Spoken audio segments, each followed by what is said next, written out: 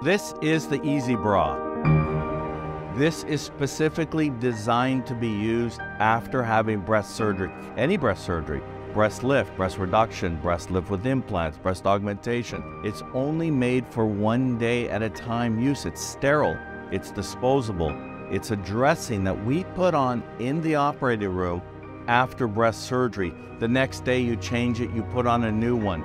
So you've always got a clean, sterile bra to go on your new incisions. It's fully adjustable with these Velcro straps. There's four straps. So if you've had implants or tissue expanders, this will secure the implants where your surgeon put them. If you're going to be having breast surgery, you need this bra. In order to get the bra, go to ogeerecovery.com, see our whole host of products for recovery.